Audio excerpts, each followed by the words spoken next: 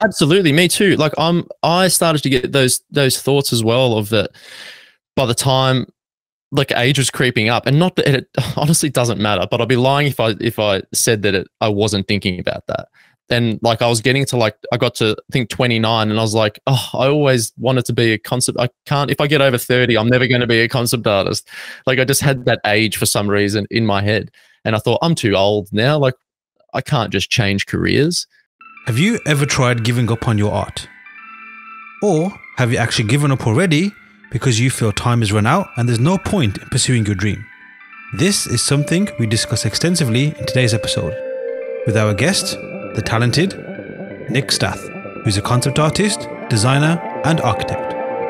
And Nick, who is in the early throes of his career, has been working on some fascinating projects of late, with the freedom and joy that all artists strive for. But it wasn't always this way, and very recently, Nick even turned his back on art. So, let's find out what happened and enjoy some wonderfully honest and inspiring insights and experiences from Nick in the process.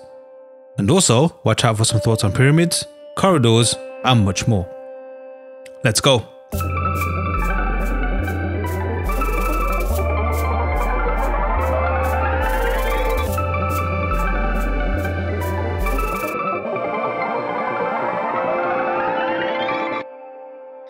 So yeah, let, us get going, man. Um, Yeah. Everyone, welcome back to the Learn Squared podcast. And I'm delighted to welcome on today's guest, Nick Stath. Hey, Nick. Hey, Aaron, thanks for having me. It's a pleasure to be here. Thanks for jumping on. Um, so yeah, uh, I guess the best place to begin is like how we normally do is just a lovely intro and origin story to our guest, and I'll hand that over to you. Yeah, so I'm a concept artist and designer. Um, I have quite an extensive background in architecture. So back in 2014, I got my architecture degree. In 2016, I got my first taste um, of the concept industry. Uh, but during that period, I still worked uh, in architectural practice for something about uh, six or seven years in total. And it wasn't until 2020 till now that I've been full time freelancing in the entertainment industry. Ah, so a couple of careers and then a short, short kind of short amount of time. I mean, it's like what eight years or so since um, I guess the architecture journey. Did it begin then, or did it kind of wrap up then? I mean, how long was the uh, the training for that you did? Yeah, so it was actually so the architecture degree, the bachelor and master's degree was five years. So gee, that was from when I as soon as I finished high school, um, went straight into uni for five years. Um, yeah, got blasted with architectural knowledge and history and went down that path. Um, became super passionate about architecture, which I still am to this day. Um, but yeah, after that, transitioned into architectural practice. Um, got a lot of experience working for some really good practices, being on site, seeing how buildings actually went up, which was amazing to be a part of. Um, but yeah, during during my time uh, in architecture school, I would constantly find myself kind of referencing architecture in film, and there was kind of like a little passion I think there on the side that was building, um, and yeah, that kind of gave me a little bit of a taste uh, for something I guess in the future. Um, and it wasn't until I got an email, yeah, in 2016 from a VFX studio here in Sydney that um kind of opened me up to that world uh, of um, the entertainment industry.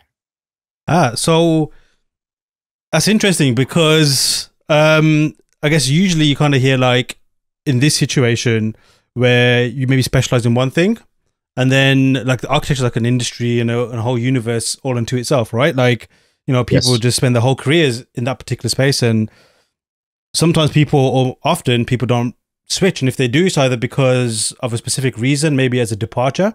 But obviously, in your case, it clearly wasn't because, like you mentioned, architecture is something that you're passionate about, and you can see it in your work as well, which I'd love to get into more uh, further down. Yeah. Um, so like how um, like what? Why was it specifically movies that kind of inspired you? And I guess with architecture, it's just broad range of kind of like avenues and topics Yeah. you can you can go in. Yeah, that's a good a good one to discuss. So I think if I'm being completely honest, like architecture in practice started to become quite mundane for me. I think in, in my time at RMIT University studying architecture, it's a really good university for pushing us to be designers and think bold and think of big visions. And that's the stuff that really excited me. And that's why I was saying that I got inspired by films a lot because you see all of these big visions and these amazing architectural spaces and they inspire you.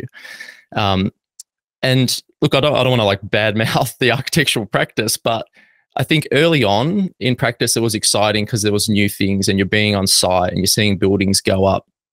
But um, as kind of time went on, as I mentioned, it started to become a bit more mundane. So everything started to become a bit more repetitive. Um, in certain places, you can not really be allowed to to have your thought on on the design.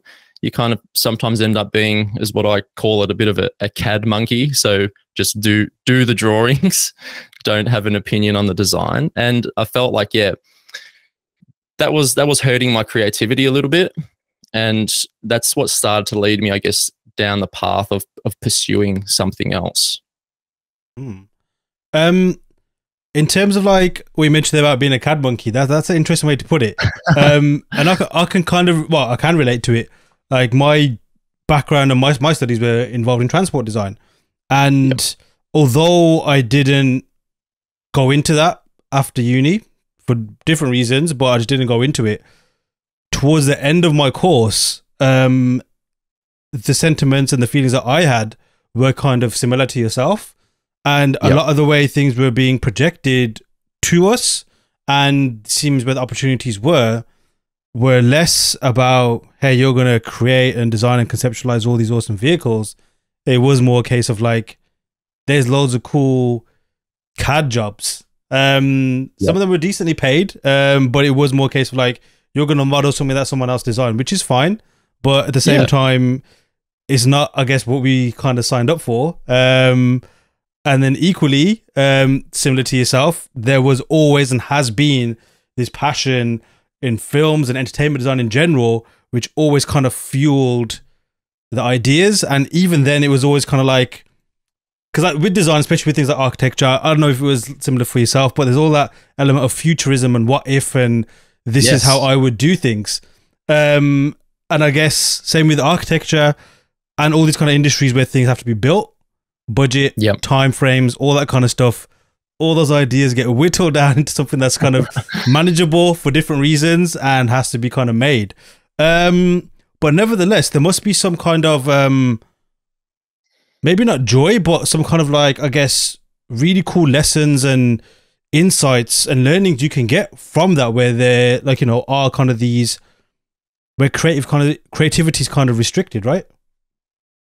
Yeah, absolutely. And I still do take that um, I think that's helped mold me in a certain way, even in the entertainment industry. Like, I actually do prefer to have restraints and constrictions. I like to kind of respond to a brief. I like to be told, look, we can't do this. Like, we're restricted to a certain ceiling height, or, or the story is restrictive. We can't have big spaces. Like, I do like to respond to those things. Like, I think, um, again, architecture was great because it teaches you to be a problem solver. And that's exactly what mm. we're also doing in the entertainment industry. Um, in architecture as well, like I think the great thing about working in practice from a young age as well is it taught me very quickly how to be a professional. Like I think there's there's some really, I guess, boring things that you think you don't need to worry about, but are really important. Even just simple things like how to file a project, how to stay mm-hmm. organized, how to how to deal with clients, how to write an email. Like I actually um, have testament to a lot of those those lessons um, to now that I apply to to just working as a freelancer. Like if I didn't have those things, I think I would be a little bit lost. Interesting.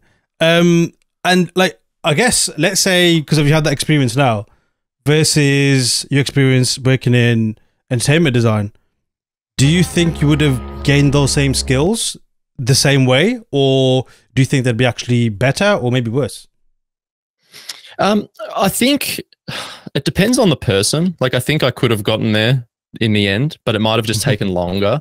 I think because you're just thrown into the deep end and you're around people that have been already in the office for five to 10 years and they just teach you immediately like what you got to do. Like, mm.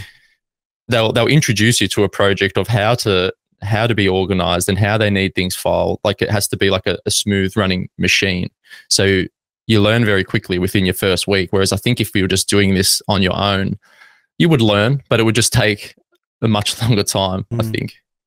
And in terms of like architecture initially, wh- why did you choose to study that in the first place? As you mentioned, there's a passion there.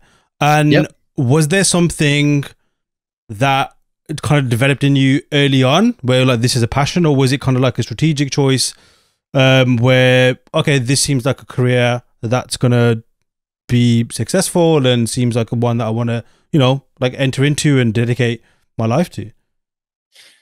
Yeah. So it's kind of like a bit of a cliche story, but like I, I drew as a kid a lot. Me and my sister would draw. My mum was a really good, which still is a really good drawer, not a professional artist or anything like that. But she used to get us to draw when we were like probably like four or five years old. Cool. And I continued to draw growing up, like whether it was Pokemon or Dragon Ball Z. Like I was, I was always drawing those those things or characters um, when I was when I was a child, and even up until high school. Um, and then yeah, I guess when it came to that point where they're like, you have to pick a career, everybody's a bit in shock. I think when you're like 17, you don't really know what you want to do. Um, and I kind of just wanted to try and find out like what's a job that I can draw in, and naively thinking that architecture was that, mm-hmm. I decided to follow that path. And I think once I got into uni and just thrown into architecture, um, I think you just start to fall in love with it when you just get all of that history and culture thrown at you mm. and they get you to draw and you, you start to i think just develop a passion. You start to develop an appreciation for the subject. And i think because you're just there at uni for so long um yeah it just becomes a part of you really. Like the the drawing and the architecture just kind of combined into into one thing. Well said. Um and that's that's so true as well because you kind of have this like it's always a thing like where I'll try that. It's like like a item on a menu to a restaurant you've never been to. Like you just look at the words and think, okay, that sounds like it's going to taste good. Let's try it. And then either it's going to be like what you thought, not what you thought, or something even so much better and opens a whole new world to this whole new thing. Um, what yeah, kind of th- what kind of things did you draw like growing up? Like was it just like obviously mentioned Pokemon and all those kind of things as well? Um, yeah. totally did the same thing. But like, was it just the joy of drawing, or did you set yourself like mini targets and like, hey, I want to improve on this, I want to level up on that, or was it just kind of like gaming where you just thought, I'm just having fun?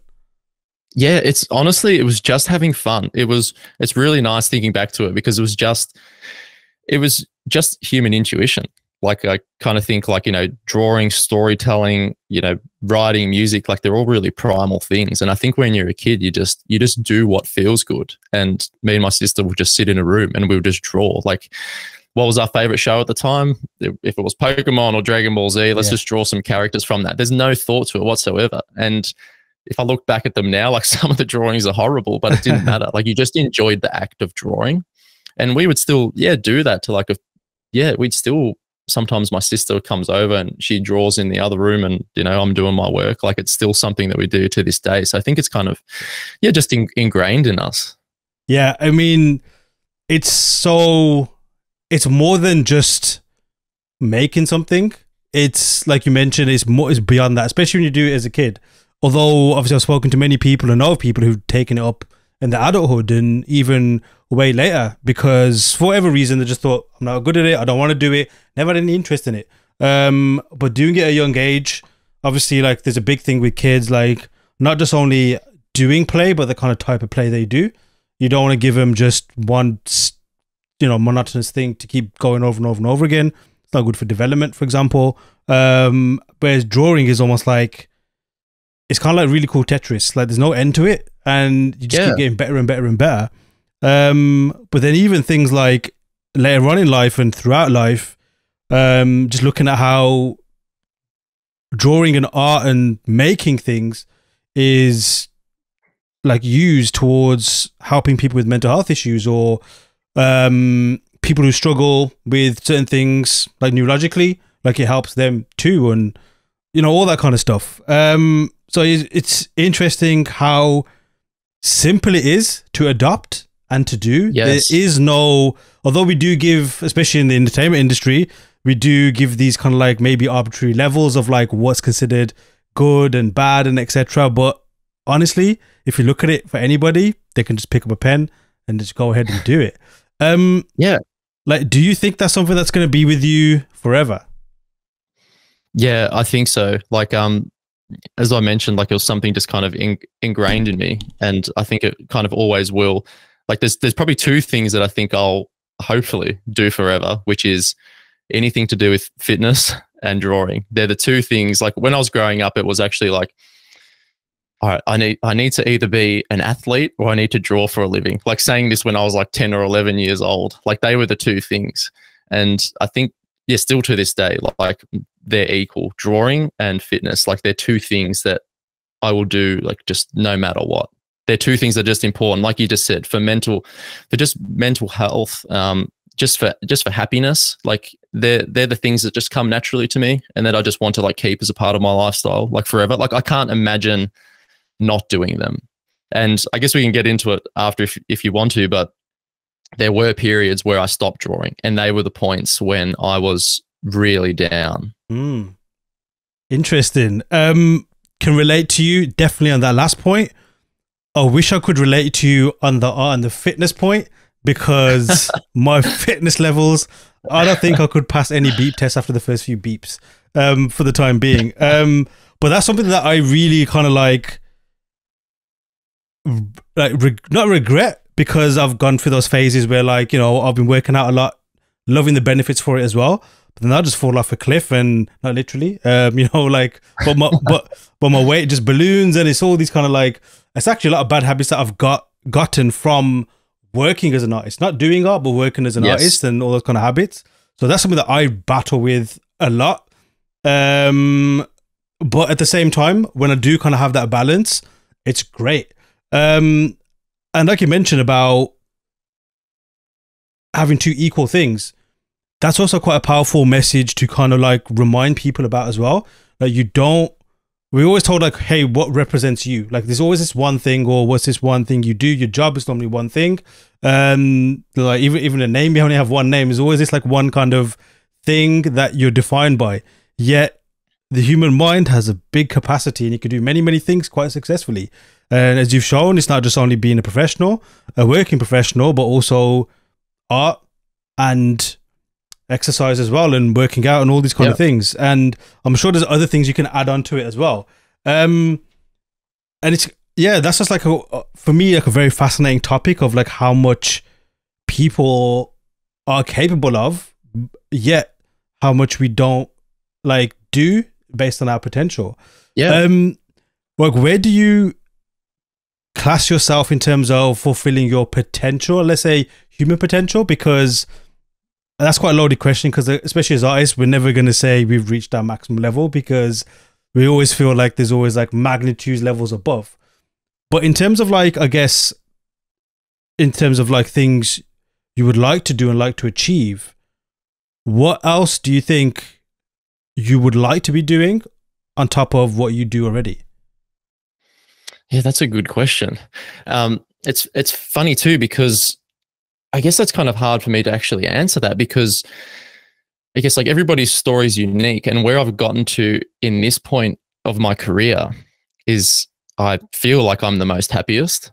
Like I'm really con- like I don't want it to sound like I, I have no goals or anything, but I think like my whole life has been so goal driven and goal orientated. And, you know, it was wanting to be an architect and then wanting to be a concept artist and, you know, wanting to be fitter than I've ever been. Like everything was always kind of thinking about the future. And it wasn't until like, again, 2020 when I finally really broke into the industry that I started to slow down and try to kind of enjoy the fruits of my labor. Like the things that I actually want to or I have added into my life actually just non-related to exercise and not related um, to drawing and they're the really simple things like going going to the country in the middle of the day like i'm lucky because i live quite close to the countryside and just cool. going with my partner and our dogs and like having a coffee and having a laugh talking to the locals like just just enjoying like the outdoors like they're the things that i've brought into my life that i actually felt like I was missing when I was working in an office and working in architectural practice. Um, yeah, I don't I don't know if that really answers your question, but like I um that's the thing that I've added into my life at the moment that I think I was missing before. I think if I was to think ahead now, I'd like to take that to the next level and potentially experience combining the work, the health, the fitness, the lifestyle overseas. I think it would be nice to to just work from another country and also just just travel more frequently and not just feel like I have to throw away the career and the good habits that I have here at home. Interesting. Um, so have you always been based in Australia? Like, is it always work and everything and career, everything all been nurtured and developed there? Yeah, everything's been here in um in Melbourne, Australia. Um, I I used to I think what also a key point of my my journey to I guess becoming a freelance artist is what I mentioned um, working from the office. Like I didn't and I don't mean this to sound like a sob story, but I didn't come off from a well off a, a well off family, so we weren't traveling frequently, didn't really mm-hmm. get to do um, many things or choose where we wanted to live. So I've always found myself either studying or working really far, really far from the office. Like I think I spent the good six to seven years of my architecture career spending four plus hours a day traveling, and that really started to break me. And that was uh, that was something that I knew I needed to change, and I didn't know how I was going to get there. Um, but yeah, I'm grateful that I eventually did. Mad. Um, and like, what was the kind of like? Because that's something I'd love to touch upon more in a moment. But like, what's the kind of like appeal to moving abroad? And the reason why I ask that's more from a personal perspective because, like, I guess it's quite obvious, kind of like you know, like what there's always like more to explore, more to see, and I'm sure like Yep. Whenever, and a lot of listeners will agree as well, whenever you travel somewhere new, um, it's just eye opening the experience you have when it's completely different to where you live. Like growing up, any kind of holiday we had been on, and even when I started, like, you know, away from family holidays, going on my own, it was always been to a hot country or because obviously Britain's very cold and rainy, um, and it's always like a beach or coastal type thing. And then one time, and this was actually work related, um, we won an award, won an award, and we got sent to the Alps. And I wasn't really keen, except from the photography perspective, um, because I don't like the cold. Yet it was one of the coolest things ever because it was a completely different experience. Um, but then at the same time, like, um, just to quickly bore you with some some of my own anecdotes. No, go for it. Go um, for it. There was a period of say a few years ago where, and this is obviously linked with career and like trying to develop and where the best opportunities are, for example, for myself and my family, it was a case of like really thinking about moving abroad and where to move abroad and what's good for us as a family and where the potential jobs are going to be, etc. Yet now that is something that I've completed a 180 on and double down on more case of like, hey, why can't I make it work from being in the exact same spot I want to be in? um, and doing it that way. So that's kind of like kind of like you know roller coaster journey I've been on, um, and I'm sure it'll change going forward as well. Um, but yeah, for yourself, like what is kind of like the overriding appeal? Like, is it just to kind of see, like you mentioned, um, what that experience would be like, and again, just to kind of um, like you mentioned, like kind of like to take the career on the road type thing and keep jumping place to place if possible. Um, but yeah, like what's the kind of like overriding or key motivating factor to that? I think um, everything, like I think repetition and um, like having a system to the way that you do things and routine is good, but I think it, everything after a while will start to become boring. So I think traveling and just immersing myself in different cultures mm-hmm.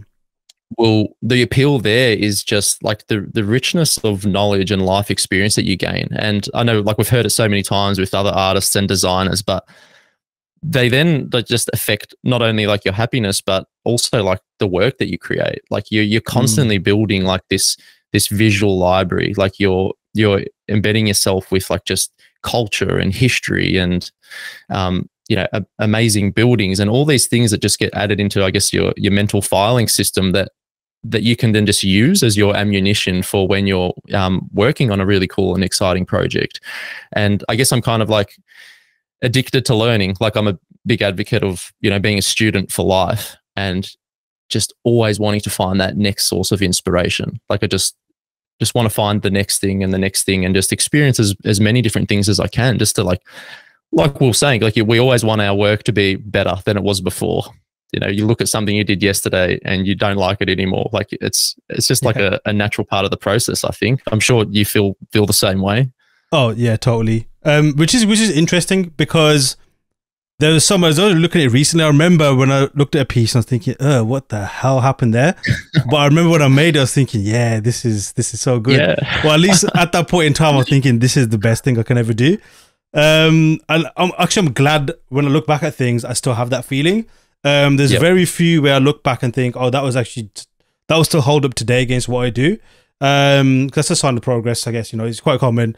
It's like I guess with my kids when they look back at their drawings or writing or anything they've done from a few years back or a few months back, even like there's an obvious progression when you kind of kind of look yes. back. Um, so yeah, I guess I guess like kind of a cool little life hack if anyone's kind of thinking if they're stuck in a rut, just just look back at what you've done before, and if you see an improvement yeah. or don't like what you've seen, then you're in a good place. Equally, if you don't like what you see now, then kind of go back to where it was good and you know kind of like yeah. go back a few steps um yeah, and that yeah. oh sorry no, I was no, just gonna ahead. say just yeah. sorry to cut, cut in and that's like just just a super important thing to do like not just to make yourself feel better but like constantly ref- reflect back on your own work and and try and spot where you've improved and if you have improved like i just remember like when i was trying to get into this industry i'm sure everybody's had the same experience but um like being misguided and comparing yourself to everybody else, all the other great artists that there are out there on Instagram. Like it can be, yeah, you can really just um bring yourself down, and I think you can really get stuck stuck in a rut, so to say, looking at everybody else's stuff. Whereas really, you just need to look at your own work and if you've improved. Um, like I, I remember always like thinking to get into the industry, I had to be like Simon Stålenhag. Like I thought that I had to paint paint like him and I was just constantly like just beating myself up and just thinking I'm never going to get there. I've got to be like yeah. Simon. Yeah. Which yeah, should as we know, we shouldn't be doing that. Nah. Um. And speaking of Simon or Simons, I had that same thing with Daniel Simon. Um. Like it was his book Cosmic Motors that opened my eyes to the concept art world and knowing that you can actually be a transport designer for the entertainment industry and do it not only successfully but in an amazing way in your own voice. It just was like I thought I had to do that my own way whilst getting into a different industry and then slowly taking steps and maneuvering and you know manipulating things in a way to get it to my world. Yeah, this guy done it already, and it kind of like kind of made the pathway in a way. Um, and then a lot of it was a big, big chunk of time where maybe if I had to do a resume of my time, it would just be trying to emulate Daniel Simon and do things. You know, you fall into that trap where you kind of feel like, well, you do want to do it your own way, but you think, oh, but his is the accepted way or the perfect way because oh. obviously that's what you kind of idolize. And then you measure yourself up against it, which is, I think, also positive and helpful if you do it in a healthy way. But at the same time, you can really beat yourself up because, yeah, man, it's like trying to trying to run the same record. I, I think he's still got the record as Usain Bolt, and trying your best and you might break your own record like millions of times but because you're not hitting his record it's always a failure. Um yeah. but like, when did you kind of recognize that that wasn't healthy? Like was there a certain thing where you think i've had enough yeah. of this i'm gonna work on this pathway or was there something else that kind of like brought you around? Yeah so with me it's it's funny how it happened. So we're going back to my architecture career loved architecture you know learning a lot thought i was you know decent at it. Spent all this time learning how to design buildings, pretty confident. And stop me if I go on a too long-winded of a story here, but um, yeah, in when I finished uni and I graduated, uh, my friend in the office, he said to me, and it's kind of stuck with me still to this day. He goes, "Now that you've finished studying and you're working full time, make sure you don't go home and all you do is watch MasterChef." Yes. great Not that though. there's anything wrong. Not that there's anything wrong with MasterChef. It's a great show. But his point was to just keep. You got to keep working on your own drawings and your own designs, And I took that advice immediately. I made sure I still had that good routine of creating outside of work. I started an Instagram page with no intent behind it, just literally as a place, and this would have been like 2015, just a place to just to put any drawings that I created outside of work up. No comparison to others. Don't think I even knew what concept art was at the time. Didn't know any other artists, really naively. And as it happened, um, some of those drawings, when I, even though I look back at them terribly, some of them went viral. Some of them ended up on like a big um, design blog called Design Boom. Uh, one of them got shared on Hypebeast. Um, and I got all this like attention for them, even though I didn't think that they were that good. And that actually led to me getting my first job in 2016 it, um, at a VFX studio that I mentioned earlier, Plastic Wax in Sydney. And that frightened me. I was like, oh my gosh, what's this concept art career? I've heard of it. Is this what people do? Is this how they design things in film and TV series? And it was that. I took that opportunity. They hired me at the time for me being myself and the architecture that they saw that I was creating.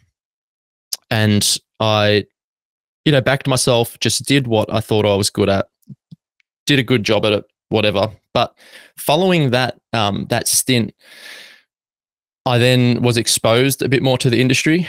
And then I started to find myself looking at a lot of other artists, looking at concept artwork, which I just found to be, you know, obviously phenomenal and almost scary in a sense. And I almost abandoned all of my architecture knowledge and all of my architecture learning. Like I thought all of a sudden that, okay, I have to be a painter.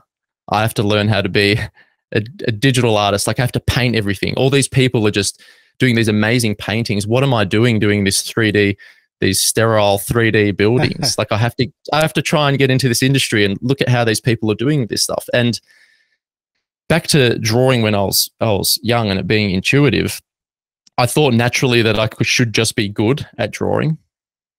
Um, and what I found myself is that I just wasn't up to scratch. So I then spent like all of these years later trying to trying to mimic all of these different artists and really, really failing and then really starting to to doubt myself.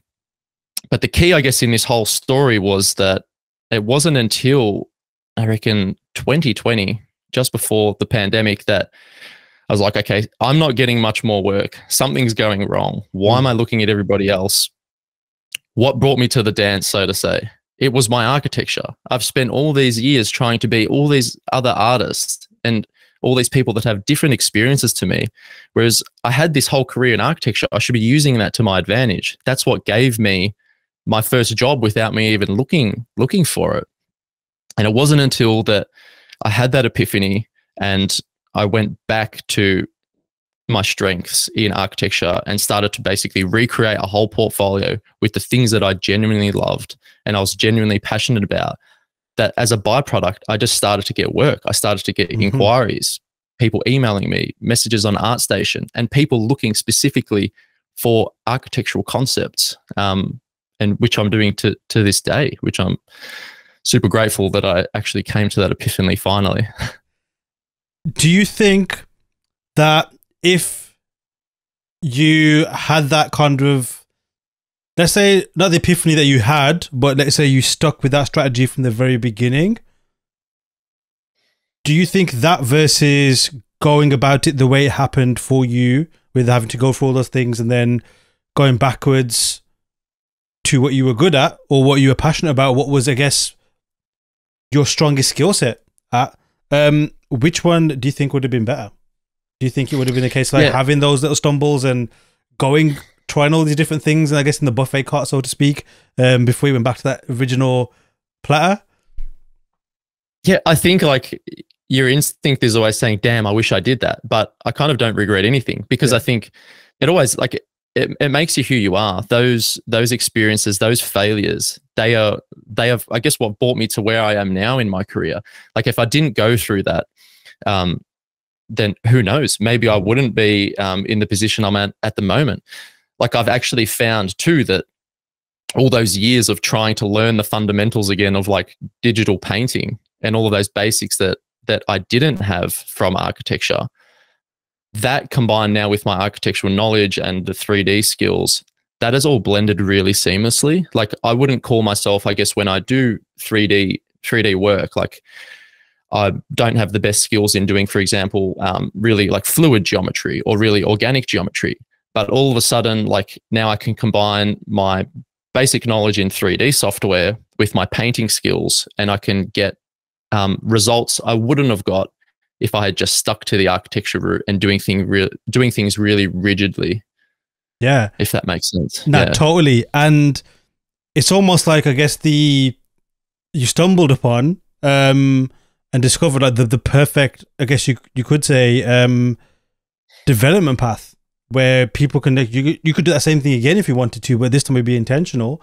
And I guess there wouldn't be a lot of the kind of you know the kind of anxiety and I'm speaking also from my own experience because I went through the exact same thing um, in a similar way, almost to the T, where it was like, oh, looking at other artists or looking at what I thought you needed to be in the industry, um, and then almost coming full circle, it, for the same reason, was a case of, well, this is what I actually do, this is what my biggest strengths are, um, and then it's a case of like bringing all that kind of back together, and then it, again, if you look at it differently, let's say your intention at the beginning was a case of like, okay, this is where I'm going to end up. I'm going to go full circle, but I'm going to strategically and intentionally go down the path of like, you know, like painting and doing all these different things. Then when you reach the end goal, again, it's still be the same result, but I guess perhaps there wouldn't be, you know, that kind of like the, the negative, you know, take that that you went through. However, negative obviously is a bad thing, hence the name. But at the same time, do you think it's important to have negative experiences in your career? Yeah, absolutely. I think I think you have to have um, negative experiences, whether it's like rejection or failure. Like I think those are the only things that can really make you grow. Um, like I think they help you develop like a strong mindset, but they also push you to to learn more and to grow in whatever profession or industry you're in. Um, like I went through the period of when I was trying to, you know, get into um, concept art that I was sending my portfolio um, to people on LinkedIn or in emails or whatever it may have been, and people telling me that, yeah, look, your stuff doesn't look realistic enough for what we do.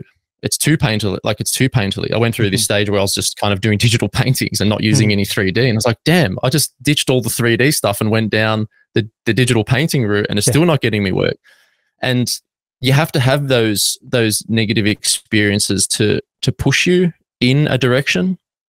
Um, that's why even I I'm grateful for the the the bad times that I had in the architecture industry, like um, being pushed down, saying no, you're not allowed to design. You have to just do your drawings. Like those are the those are the negative experiences that that pushed me forward to like pursue a passion and mm. to and to to pursue getting um getting into this space. Um, yeah. That is also an interesting topic as well, where it's a case of like you just explained, like literally, like don't don't be creative. Um, and like I have been in for a long time in my working career in a non-creative job, and it was always like kind of. So I didn't realize I doing it, but you try and find ways to be kind of creative, but it's it's not nothing meaningful.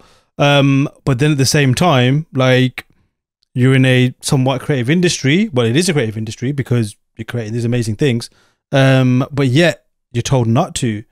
And I'm sure there's people who decided that well, I have to listen and not do it. Um, but but in your case, was it? Did you ever think about like, okay, I'm gonna have to listen and not do this, or was it just like you were never gonna compromise on pursuing something that allowed you to be creative? Yeah, I think there was I think there was certain moments where I just kind of took it on on board and just thought, oh, this is just what the industry must be like. Mm-hmm. Like naively thinking, oh, I can't change it. I'm just I just have to do my job.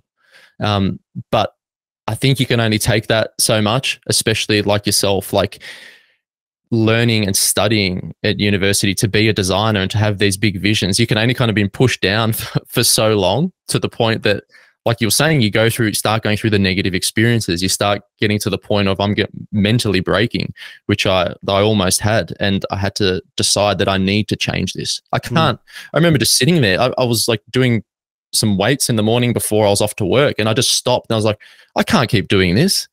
how, um, is this the rest of my is this the rest of my life? Like I know it sounds really dramatic, but that's exactly what I was thinking. I was like, something has to change, and that that led me to the path of um, okay, I really need to again learn how to draw. I need to learn my fundamentals. I need to I need to create a portfolio that is going to get me work and into the industry and that pushed me to become um, you know, really persistent. I would spend mornings, my lunch times, and immediately after work sitting on my iPad. It didn't matter if it was like middle of summer, I'd be sitting in my car on the iPad learning how to draw on my lunch break. Like I just did, I spent a solid year and a half doing that to just really break out of um, that routine that I was in and and being in that job that I just got to the point of hating, if I'm being honest. Yeah. Love it. Um, because I did the same. Like, you, a for two reasons: something you couldn't escape or give up.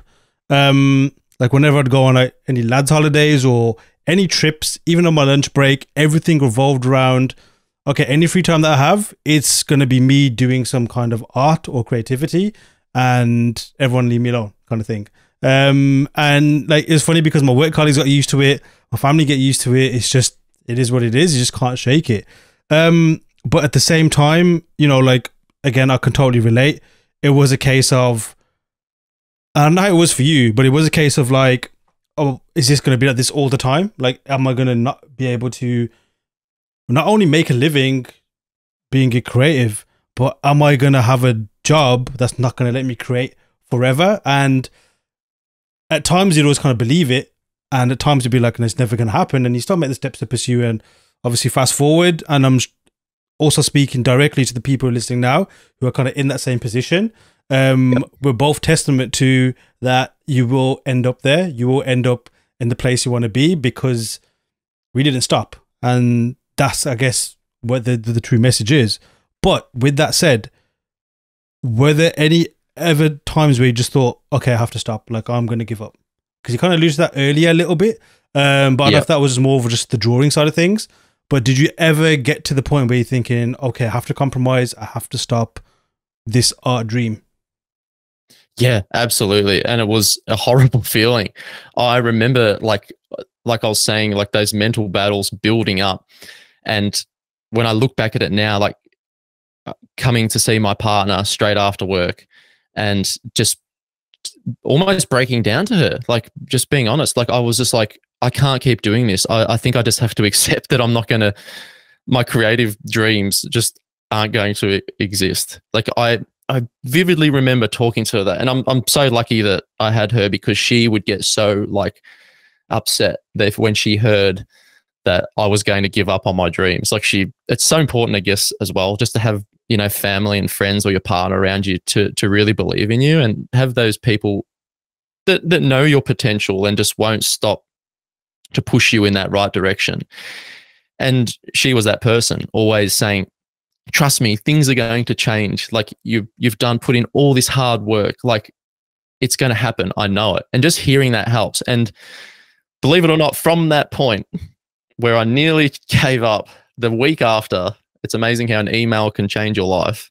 I got an email from another VFX and animation studio. It had been a long time since I got any freelance work and it was a really big job. It was the um, uh, which we've spoke about in the past, the um, the music video um for Pharrell Williams, and I could not believe that. I was just like, this is the this is the sign. This is this is the sign that all of that hard work has come to a point where somebody has seen my work, and I need to take the leap of faith. Um, and which I did. I actually did something which was, I guess, which would be scary for anybody else that had had a secure job for a, for a long amount of time. And I actually quit. I used that as the point that even though it was only a job for two weeks, I was like, I analyzed my whole uh, situation. I was like, okay, how much money do I have? Do I have enough money to last me for like six to 12 months? I analyzed all of that. I'm like, this is it. I'm taking this opportunity. This is my chance to go full steam ahead, throw away all of the safety nets that I've had around me, the secure income, that lifestyle, and I'm just going to go into the unknown. And I did that. and it's been nearly three years since then, and I haven't looked back. Sick. Love it. Love it. Um, and yeah, that, this, that, that cool thing about you mentioned about safety nets. Um, I remember doing a similar thing where it's a case of like, I got really attached to those safety nets because in the day and age we live in and the, the way things are with prices and just everything else, like having steady income is almost the only thing that you should hope for. Almost that's kind of the message that was instilled in us, and it's Yep. it's valid. Um, but at the same time, there's something where as long as you're driven and you're smart about it, of course, as well. Like you, you did the calculations, you did you assessed everything. You didn't just go blindly into it. But removing those safety nets, you pay more attention. You you make Yes. sure things happen that's supposed to happen. And I'm sure it's the same thing for yourself. It's a case of like going back to that stage is almost like the key motivation to make sure that you never go back to that stage. Because Yeah. um yeah, it's like that old adage of like when people leave prison say I'm never gonna go back. I'd rather die. It's like I Yes. I, I kind of get what they mean. Um ex- Yeah. the lack of criminality. we hope. Um, yeah, but that's a that's a good, really good point. Like, because something else I always believed, like deep down as well, is I was like, you know what? If I had five days a week to spend, this is back before I worked in in concept art. If I had all that time, and I guess it's easy to say this, if I had all that time and I spent all that time, even without the job, just dedicated to my art and getting better and networking, creating a portfolio. If I dedicate myself full time to that, jobs will come from it. And I just kept telling myself that because after I Yeah. did get that two week job, it's not like I had a job after that, but I treated the rest or the, the months to follow as full time work. Doesn't matter I wasn't receiving an income. That's that's irrelevant. Like my job is to get more work Mhm. and I can't let any time slip. I do not, like you just said, you don't want to go back to that. And I would, I'll do anything. Like I said, like I'd rather go work at the supermarket stacking shelves again, as I did in my first job, than Safe. going back to that, that architecture office that I worked in. Um So you're the same. You're the same. Oh yeah, some similar thing, but a lot of mine was like my break came a couple of years before yourself. Um, but it's, it's not been like it's still been up and down. It still hasn't steadied yet. But Yep. as it was at the beginning, there's no well, there's always going to be some anxiety, but there's no anxiety in terms of like what and ifs and maybes and whatever. Like it's pretty clear what needs to be done, what I need to do, and Yep. then it's just maneuvering how you want to kind of maneuver. Um, but prior to that, it was just after I'd left uni, and then I already had like a weekend job that kind of became my main job because I'd left uni, and then that stayed my main job, and then I got I got made redundant, and then got another similar job, and then only left that officially when the pandemic hit. Um, but I'd been slowly whittling down the hours because freelancers were picking up, and you know, it's kind of like minute, a bit like um in Raiders of the Lost Ark when they're trying to move the statue and put the put the thingy there. Yes. like I kind of did it where the giant stone ball didn't come after me, so I, I did it the right way, but it took ages. Um, but yeah, it was a case of like exactly like yourself, that motivation of you know, but if I was doing this, then this would be exactly what I need, and yeah, that mentality, like I can relate to it, but I also love to hear it as well because there's a big thing which is said about making your own opportunities, and obviously at the same time, you can't just force people to send you emails like like the one that you got for example you can't force people to give the work that you want but at the same time um okay that, that's something that you can't control but there's so much you can control. And a lot of it is to do with giving yourself that mental structure like you've just explained and also that framework to make sure that you're just at peak performance and as someone who works in well who does fitness and does working out i'm sure that's very similar to Yeah. working out as well, right? Like it's a case of knowing what your limits are, making sure that you don't fall off the wagon, like I normally do, um, because it's hard to get back on. Um, and and it's interesting, like how a lot of these things follow the sim- same rules, even though they're very very different. Yes. A hundred percent. Yeah. Um, that that like I'm glad you brought. Yeah. Oh, sorry. No, no, go, no, no, no. go. It was going to be that. It was like, I guess I'm sure you're going to go into it, but like, Yeah. what what is the key thing that you take from all these other pursuits that you do that fit perfectly well into helping you as a professional?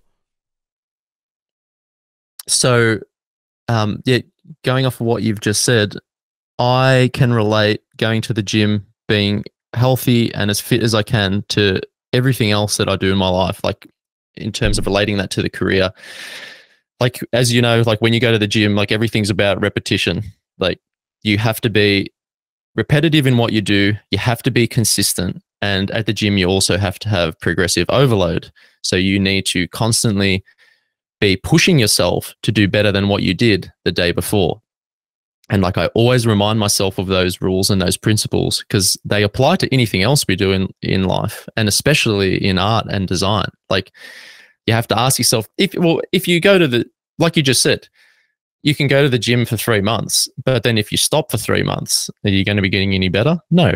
You have to you have to be consistent. You have to be going every day, like not every day, every week you have to be consistent you have to be showing up. And um, actually, on that too, like another good um, lesson, I guess I was listening to, I think it was on the Lucid Pixel podcast, like Anthony Jones said something that really resonated with me. And he was talking about that a professional shows up no matter what. And he talked mm. about something called art debt.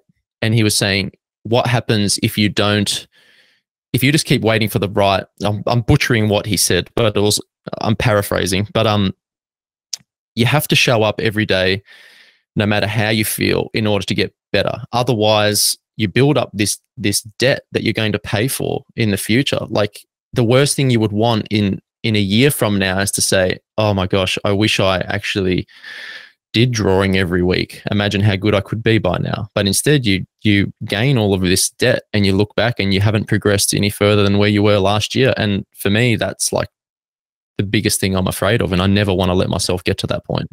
Yeah, it's that, and it's interesting as well, like how fears are very beneficial in terms of keeping you motivated. You know, it's almost like yep. you know when with the children, we scare the shit out of them to make sure they stay in line. It's kind of like you can kind of still do it to yourself as a grown up, yeah. but sometimes it can go bad. Um, but that, that's that's super interesting, and I've also had the pleasure of like in my time with working many people is like meeting people who have also in the past have pursued creative pursuits, like so many different fields, like from music to all types of the arts, and even like just something completely different but they've stopped for different reasons. Obviously, things that we mentioned before, like life getting in the way or life being something that's kind of like slowed you down a little bit or making you think that I can't do this anymore because it's not the thing that's going to get me anywhere. Um, and then they've just kind of built that debt up to the point where they're like, I'm not going to cash it in, forget it. I'll make them forget yeah. and they're never going to cash it in and I'm not going to be in debt, which I've always found tragic because – you could see how happy they are when they talk about that topic. And yeah. there's something about pursuing the stuff that you want to pursue, how awesome it makes things that tend to not be awesome be. Like, you know, like you have a better yeah. outlook on things. You just seem to be more zen about things that probably you wouldn't be otherwise. Um so yeah, I just thought I'd like kind of just um follow up with that kind of note because it's again, just the people who are thinking like, you know, are the same thing or like, hey, let's just give up, let's just not do this. Um, I didn't get my break until my 30s, and I know there's some people who are well into their 30s or beyond who are thinking there's no point now. What's the point? Just don't, man, because you're gonna yeah, regret yep. it. You're gonna regret it. Oh, absolutely, me too. Like I'm, I started to get those those thoughts as well of that.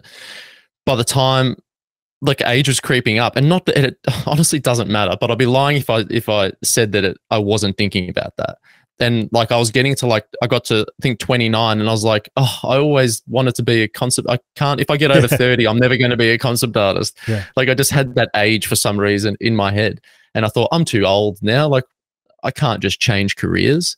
But I honestly, obviously just kept fighting that that thought. And, um and, yeah. oh sorry, go. No, no, go ahead, go ahead. Yeah. I was gonna say just to just to carry on what you just said before, um, I think it was like um, again I'm going to paraphrase and butcher the quote, but like um, you know Conor McGregor, the UFC fighter. Yeah. His his coach John Kavanagh like said something along the lines of people are, are afraid to fail and he's just like but you know what's sad to me is like is a life of somebody that just didn't try.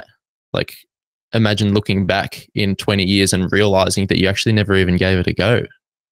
That's true failure rather than trying and failing. Yes. And that's something else that really stuck with me. And something similar that was said as well, um, which links it nicely, is actually that Pharrell had said.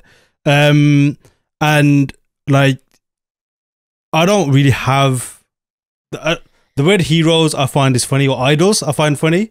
Um, but yet there are some people that have been super inspirational, people that I look up to. Pharrell, the Neptunes are like right up there. Like if you can see the top of my screen now, like it's almost well on that line, right? um, and there's something that he said because he's like a super creative in many different aspects. Um, and I'm not sure how much input he had in the the cash in cash out video, for example, but it's one of the coolest videos I've seen um, in a very very long time, especially in music video terms. Um, but there's something that he said, and it was about because I'm like heavily into beat making and music, a bit like well, exactly like how you are with the fitness side of things. Um, it's just something that I can never escape, and I would never want to escape from. It's just it That's gets awesome. as much attention from me as my art does. Um, but there's something that he mentioned, and it was about people just making and doing the thing that they want or the ideas that they have. Um, and the point he was saying that because he was like saying, just do it because there's millions of people out there that want to do the same thing and they'll do it before you. And if you're the first person to yep. do it because you went through the idea, then it's fine. And he was also, the point he's trying to make was like people can have inspirations, but ultimately what they want to do is take what you have in terms of like the creative aspect kind of thing. If that that makes sense. Like I'm definitely butchering what he said, but the key takeaway was was don't dwell and don't sit on your ideas and the things of like what if and what have and ironically like I have done that a little bit not for that reason of I thinking my ideas not good enough but I thought I haven't got time I'll wait it out a little bit fast forward and I'm seeing things that I had in mind others are doing and I'm thinking oh man I had that idea X amount of time ago, and I'm not sure if it would have been any better or would have achieved better results, for example. But but yeah, that thing straight popped back into my mind as a yeah. case of like you just got to keep pursuing. Yeah, absolutely. Like you you have to you have to try like and just I think that's a good point to lead onto as well is like you need something to critique as well. Like you have to actually get something out of your head and put it put it to paper, like to just see if it was worth it or not or if it's something you're an idea you're happy with or interested in. Because otherwise like if you don't get it out of your mind like you just like you just regret it. Like you always be again wondering what if. Um and also with creative minds we have way too many ideas sometimes. Um i'm sure the same thing goes for yourself as well. Like how do you keep track of them? Like do you have a certain workflow in terms of like making sure that you don't lose the good ideas or do you just kind of just go with what's popping at the time. Yeah, it's funny. I guess it, it's different. Oh, actually, maybe it, it, differs a little bit from like um client work to personal work. Like I find, I do always find myself like as soon as I have something, even if I'm like driving, like I'll pull over and I'll get my phone out and I'll have a notes page with like ideas and I'll just write them down just so that I can refer to them when I get back home or the next morning and I can see if that was a, a good idea or not. Um, in terms of like the creative process, I again going back to what we were saying earlier, like responding to a, a brief is is important for me. I feel like that's where I I perform at my best. Like in in client work, like the the first thing I do is I always write first. Like I'll write down key keywords that a director has told me or a production designer. I'll find keywords or key sentences or key moments in a script. Like I always write things down so I can like physically look at them and see them. And I find that ideas will start to spark from looking at those words. And then I'll find myself like, if something pops into my head, I'll quickly draw in my book terribly, like, but I'll have a sketchbook everywhere with me. Like, mm-hmm. I'll draw a little quick section or a quick plan or a little perspective just to get that idea out. And again, going back to what we we're saying, so I have something to critique like in my head, it might sound like it's a good idea, but I can never tell if it's going to be an idea worth pursuing unless I can physically look at it. Interesting. Um, and in terms of like, I guess your general workflow in terms of creating, I guess, from beginning to end. Yeah. Like, I guess, how would you define your style? Like, would you say you're quite organized? Do you have a structure you always follow? Or is it more open, depending on whatever the project is? Um, it does change a little bit depending on on the project and like what the what the task is. Like again, like something that I kind of have built for myself, I guess, is I get hired to do architectural concepts for film and games. So like I do have a bit of a process um, in terms of that, but I didn't just like um, it's only something probably again recent in the last few years where I've started to feel a lot more confident with my process. Um, like I went through the period of like a feeling like before I had to draw everything out first in my sketchbook to really understand it. Mm-hmm. But now I'm at the point where I find myself diving into 3D really early. Like I found that I was starting to get stuck a lot creatively um, when I would just be drawing too long in my yeah. sketchbook. Like I, I was just like, I realized like, look, I'm losing time in the day. It's 11 in the morning. I've lost a couple of hours. I'm not getting anywhere. I just need to model something. Mm-hmm. I just need to get a mass on the screen and I can start to see how these proportions are looking. Like, and as soon as I do that, it feels like this weight is lifted off of my shoulders because mm. I have something to look at. I can see if the idea is no good, and almost like the the process, the creative process from there starts to flow a lot more naturally. It's almost like working with clay. You can start mm. to mold it and start to shape it. Whereas it goes back to what we're saying again. Like otherwise, if we're just stuck sitting there thinking, um, we can just get lost and just wonder, just find ourselves wondering way too much. Like it just yeah. got to, again, the act of doing, get yeah. into it, have something to look at. And that's like, I guess, the creative process in a nutshell, right? Like, yeah. we always see and we always present the finished item, even if it's in the sketch as well. We always present the finished part of the sketch, not every single stage. And there's obviously logical reasons why. Um, and also, people in the job, isn't they don't need to see all that kind of stuff. Um, but at the same time, like, I've been listening to um, even authors recently as well, on like how they write books and stuff, and it's very similar. Like how they go back and chop and change things and the structures they have, almost like they sketch out things and then you know the type of thing, things afterwards. Obviously with music as well, there's almost like so many things that that chop and change um, before they become what they become.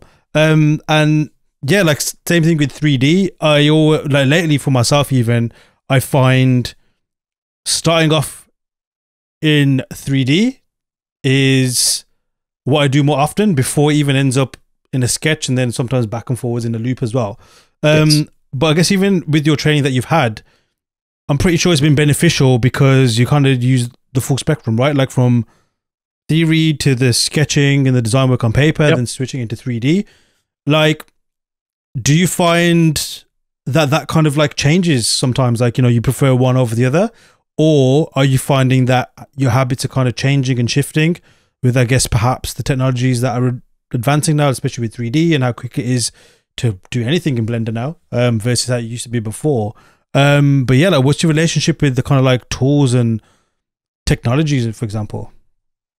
Yeah i've, I've always i think i've always been um, able to adapt to new technologies and tools. Like for me, it's always just been about will it help me get to my final result quicker? Like I'm not too fussed about like I used to be. Like even when I went through that digital painting learning stage, like I got stuck into the thing of uh don't touch uh, 3D or photo bash, you're a cheater. like I, I went through that route like I think everybody else else did.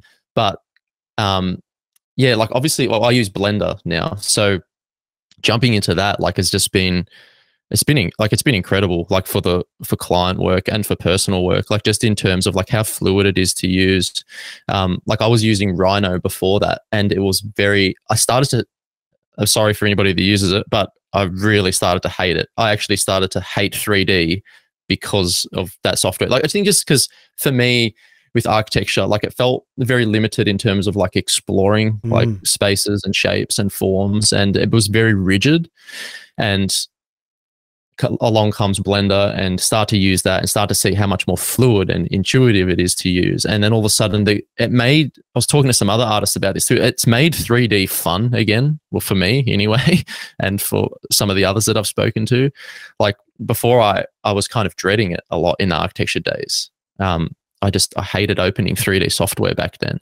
But now, like I've, I've yeah, I've fallen in love with it again. Like it, it makes the creative process a lot more easier, a lot more fun, and actually, probably to better answer your question as well is in particular like with deadlines like something like Eevee and real-time rendering has just been such a game changer. Like i know cycles is great but like i've barely even dived into it because for the purposes of my job like i can hit screenshot and just do a quick paint over and that serves its purpose for the job like on a, lot of the jobs um, that i do. So just that and not having to wait for something to render out has just yeah, it's been such a good tool to have up my sleeve. Yeah, like how much that has advanced when you think about it is actually crazy and maybe something that we generally, especially people who are just jumping in on it and that's been the, all they've known is like how Blender is right now. Yeah. Like definitely something I take for granted because Maya was the first thing. No, no, Alias was the first thing I was taught in terms of 3D. That was way back at uni, over a decade ago now. Um, and then it switched to Maya and yeah, like I remember having similar things with Alias, where it was a case of like, yeah, getting some PTSD just thinking about it right now. Um, but like even even like say the rendering side of things, it was just a whole thing um, before you even got something to look at. And now it's almost well, it is instant, which is which which is good because, like you mentioned, it's more intuitive. You can visualize things better. You can get your solution quicker. Like you don't. It doesn't need to be this whole technical thing just to get a very quick answer to something. Which yeah, uh, for productivity and design, like that's what it's all about, right? Like you want to uh-huh. quickly get the idea, communicate it, evaluate it, evolve it, and then go back into the whole process again. Oh, you're you're 100 percent right. Like for me, the most important thing is design. Like that outweighs everything. Yes, we need to be able to um, visualize visualize our ideas and have them on paper and make them look nice eventually. But I think, oh, well, for me anyway, and I think it's super important for all the jobs that I've worked on, is like being able to have logic and understanding and and create like meaningful design is the most important thing. Like that is number one priority as i'm sure you can agree with your background in industrial design. Like that goes at the top of the list. Like i think we can get misguided a little bit with social media and seeing beautiful images and pretty renders and thinking that's what we have to do. Like I, that was me too. I thought that's all I had to do. But nobody sees the rough stuff that we do on a daily basis. Nobody sees the crappy sketches, the quick screenshots that I was talking about. Like, because all that matters at the end of the day and what your production designer or art director or whoever it is, they just want a design that is going to successfully sell their story being told. And that is the priority. So, whatever the tool is, as long as the tool can get get me to focus most of my time on design, like it's a it's a winner for me. Doesn't matter what it is. Yeah, definitely. And I think even the long way around, I think a lot of people will come to that conclusion. And I think the industry yeah. in general is headed to the point where like the general consensus is obviously tech being technically good, being technically exceptional is yeah. important and will you'll always get there. As long as you practice something, you'll always get there. But the the design and the the thinking behind it and the strategy behind it, that is what's really gonna ensure you have longevity in this industry above all, above all else. Um, and just to just to what you mentioned there as well, that's something that I've definitely fallen back in love with. Interestingly, which is an odd thing to say because it's always kind of been there, but I definitely pursued the other stuff for a big chunk of time. Whereas a case of like yeah. the techniques, the tools, and similar pathway to yourself. Like they come full circle and you can use them. But um, yeah, it's it's interesting how we quickly get lost and pursue these different side quests that you becomes your yeah. main quest. Then you realize that oh, that's not the game at all. The game is back what it's on before. Yeah, yeah, and like on the the film that I was just working on at 20th Century, like they just the production design on that film, it was just so refreshing and comforting to hear. The first thing he said to me in the first meeting we met, we met, he was like, "I know you can do sexy renders. I know you can do badass renders. I don't give a shit about that. I want the rough stuff. I want ideas. I want you to explore your designs, your proportions, your shapes. I want the options. I don't care how crap it looks. When the time comes, we'll tell you to do a nice render, but don't worry about it until until I tell you. and like that that's that's the best thing to hear and i think it's super important for people listening on this show to hear that because I too was the person like this is embarrassing, but like when I was trying to get into the industry, like I'm looking at like the Last of Us art and I'm thinking, how the F do these people do this on a daily basis? I can't do a couple of those a day. How am I going to get into concept art? Like I thought, I thought that's all you present. Like I think there's that that misconception on social media that if you don't have any insight, like me, like here in Melbourne, I felt like concept art didn't even exist and just seeing all this concept art on people's pages and all these beautiful renders and these amazing landscapes. And I'm just like, how the hell am I going to become that good to produce that in a day? And it wasn't until, you know, getting experience and working with production designers and experienced artists that you start to see that it's not about that at all. Like, there's a lot that goes into it behind the scenes that that we don't see. Like, um, and just to piggyback on that too, like I, with my short career in concept art's only been full time, like I said, three years. I hope too that when some of this stuff comes out, that I can uh, not contradict uh, myself and actually share a lot of the rough stuff. That's what I'm, I'm aiming to do, and I hope to do. Like I want to show the stuff just to help other people as well, because I know how it feels like to get intimidated by all this beautiful imagery out there. I would really want to show like the stuff that I did on a daily basis, like the screenshots with the notes, like I spend a lot of my time like doing screenshots and writing notes to get my ideas across. Like yeah. I think they're important things to see. That definitely, and that's something I want to commend you on because looking through your work and interestingly enough, like the finished stuff is always amazing. Like your your, your best films obviously is the finished stuff, but seeing your sketches, seeing how your thought process is, and the little notes as well um, obviously they're all intentional. It's not there for show. Um, yeah. but like that's the coolest thing. I love seeing that all the way throughout. Like even um, some of the legends, like you know Syd Mead stuff. I love seeing. Yep. Oh yes, the sketches before the finished painting oh, and oh, everything else. Like you know, it's it's it's just something. I think maybe it's not for everybody, but for yeah. us creatives, it's like when Neo sees all the ones and zeros, he sees the code like that is what yes. it is like for us. Like it's a case of like, yeah. oh, that that's that's what you need. Um, and um, in terms of like your experiences on the productions you've worked on now, is a lot of it like that? Is a lot of it the rough stuff?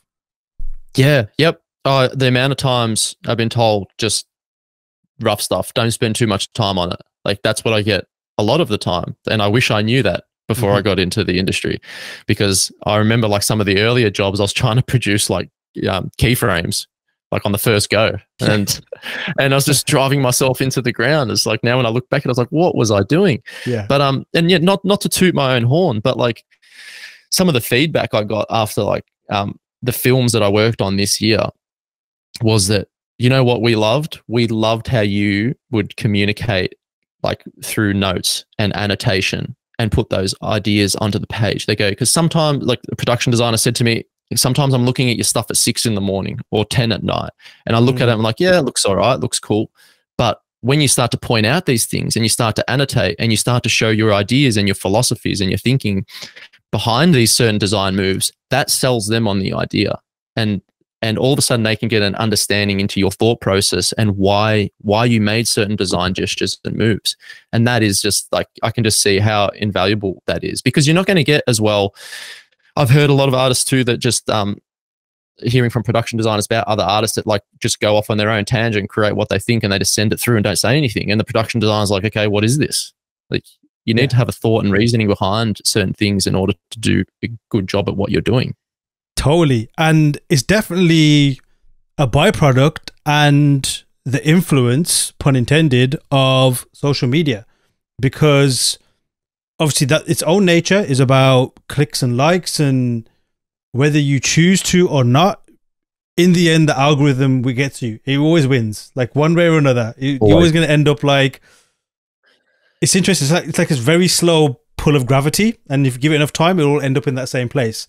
And interestingly if our industry had its own social media the stuff on there would follow the same rules but it wouldn't be the finished stuff it would be the sketches it would be the amazing, you know, sketches from um, all of the aliens films, for example, like you know the yeah the um oh, the the uh, space jockeys and all that kind of stuff and the geeky Yeah, stuff. yeah. Like you know, um, just see the thought process behind it, the set design, and as much as I love films, I always love the making of, like you know, why Yes. people did it, um, what their intentions are, why they did things, because obviously that's they speak my language, and it's cool to see why people did the things they did.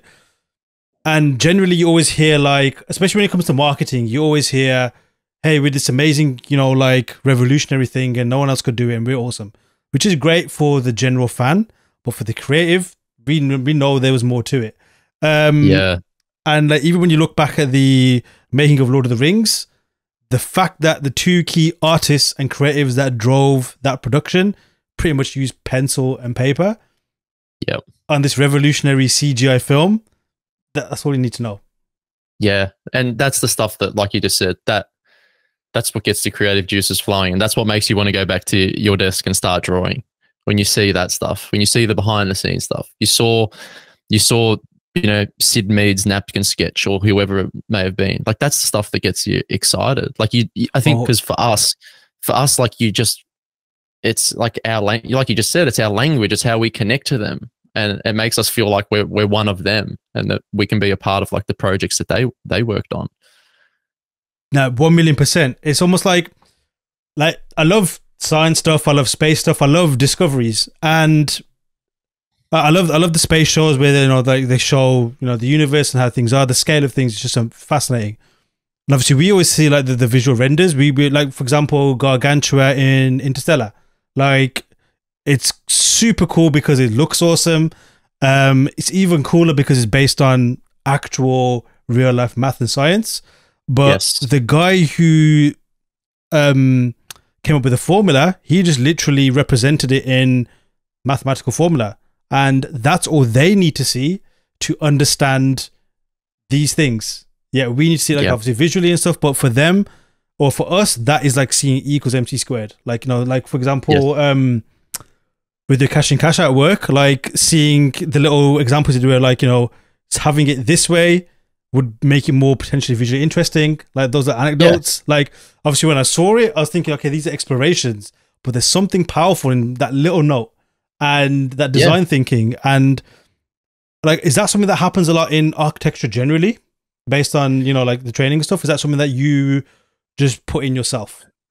Yeah, well, so that's a good point because in architecture, you got to remember somebody has to build this, and it's the same in film. Like if they're building the sets, somebody needs to know why you drew something a certain way. So when the greatest thing I learned in architectural practice was the construction side of it, when you have to produce construction drawings so that somebody can build this expensive building, the builder needs to needs it and not dumbed down like to say they're dumb they're amazing at what they do like you need it in layman's terms you, they need to understand why this junction is a certain way Mm. and you have to spend a lot of your time annotating everything. Like you spend so much time in documentation in architecture uh, annotating every material every joint every um, little piece of metal every corner like why it is that way.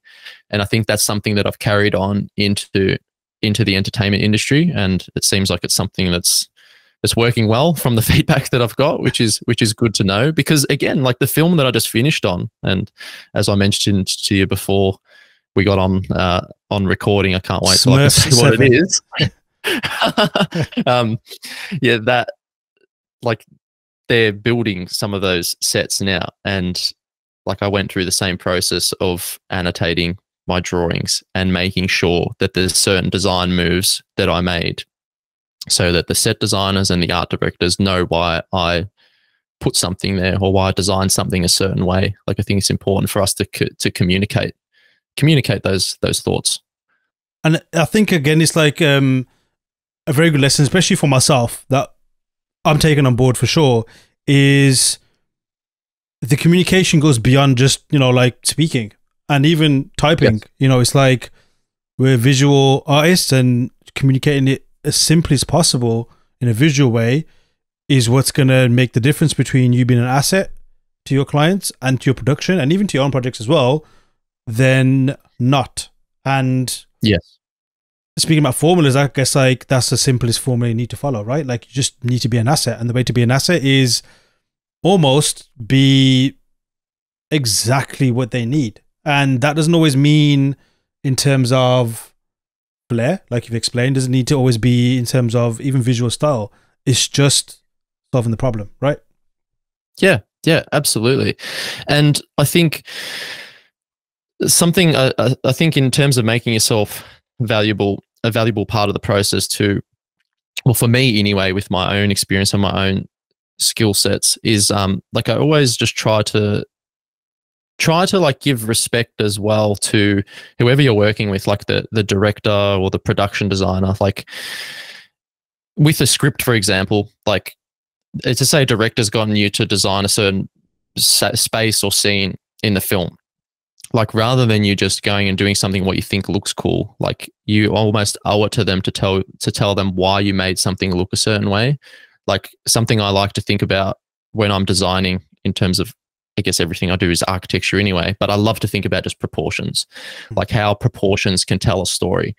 And if I've designed proportions a certain way, like I'm going to put that extra level of information on the top of it to explain to the director, why have I made this ceiling low?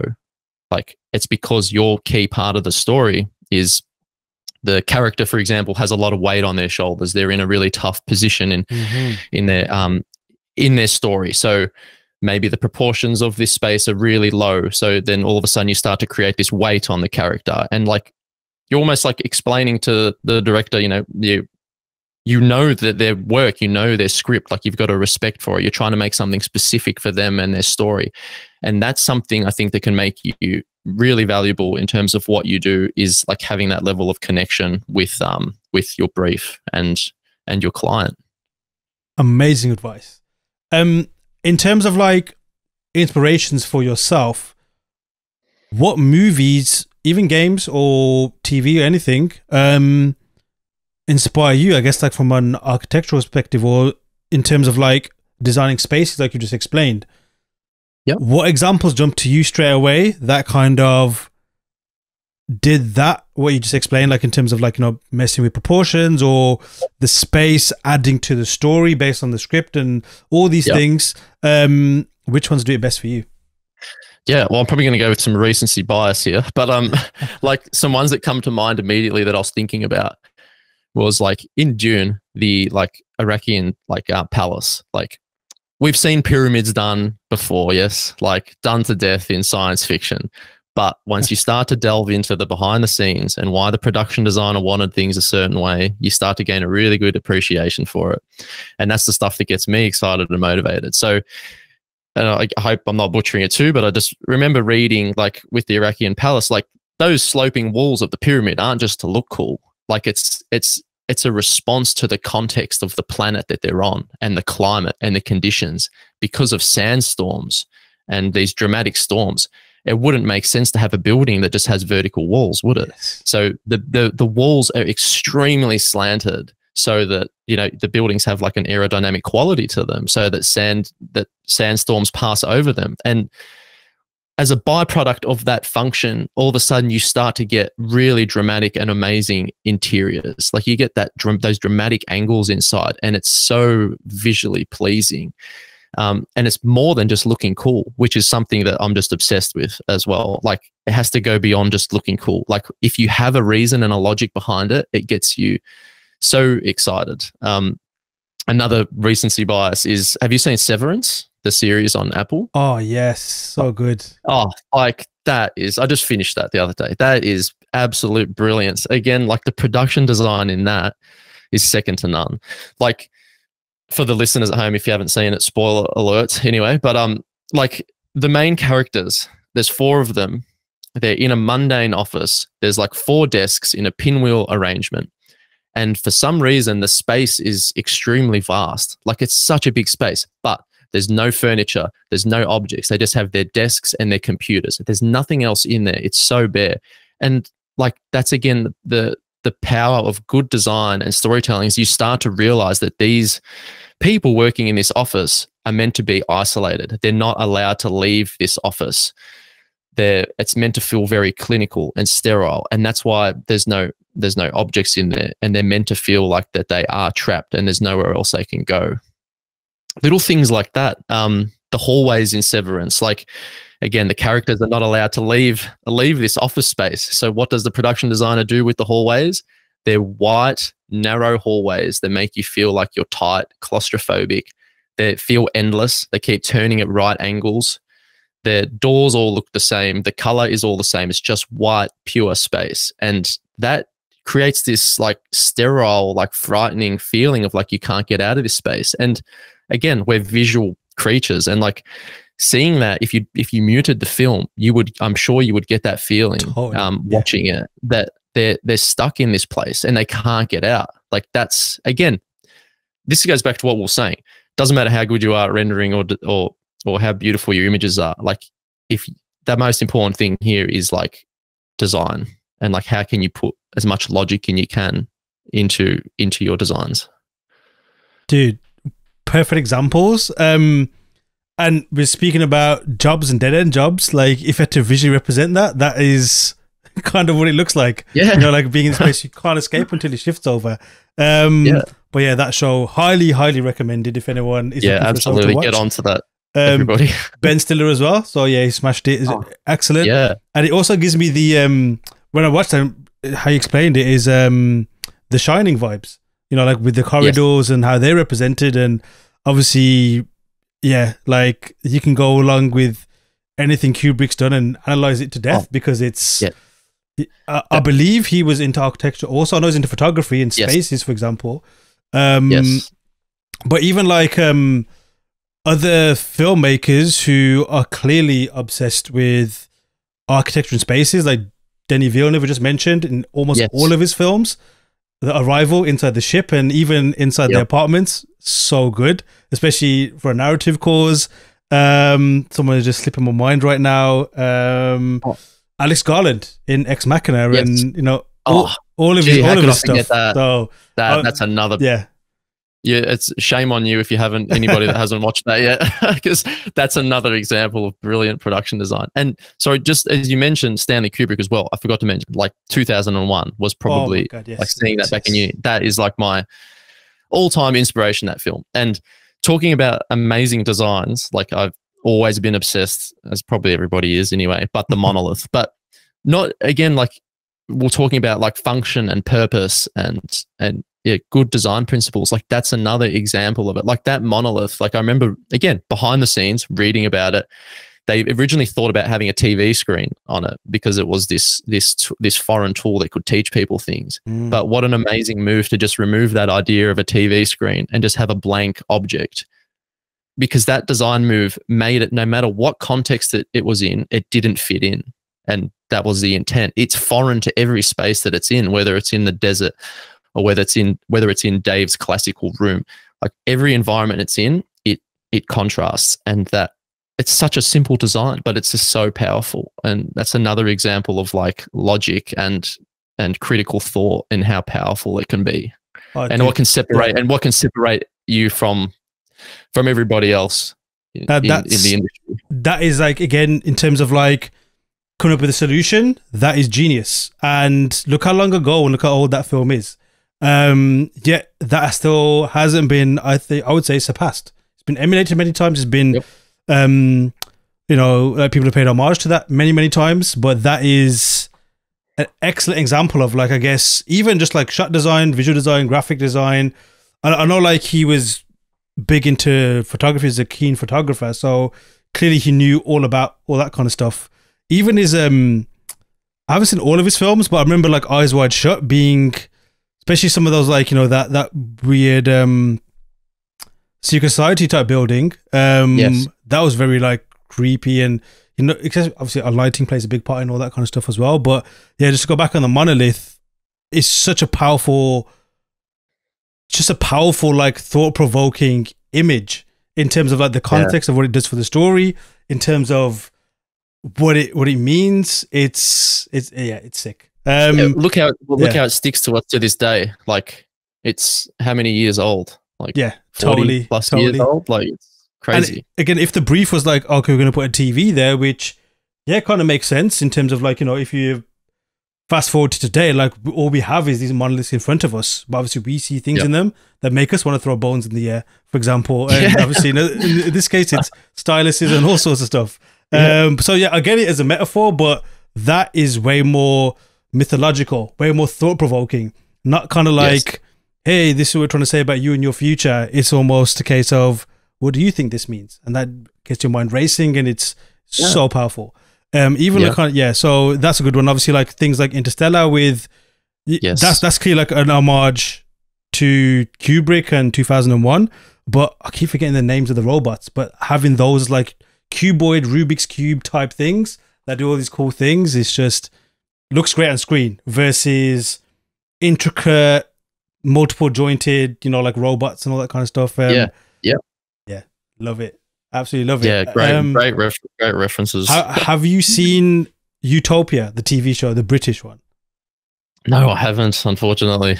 highly highly recommended but there's a scene well there's, there's there's a set in there where it's set in this office like a very old english mansion office and there's this really like very in your face visceral wooden carving i think it's called like it's paneling or cladding or whatever on the wall um that in terms of like as a space and environment i always found very ominous it always creeped me out like watching that which makes sense for the story um but yeah, that's something that I would. Yeah, I'm gonna have Yeah. to check it out.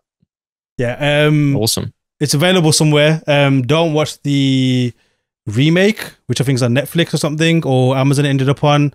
Um, I don't think that did too well. It's kind of like Old Boy. If you've ever seen that film, like the Korean version is the real Yep. real version, not the remake.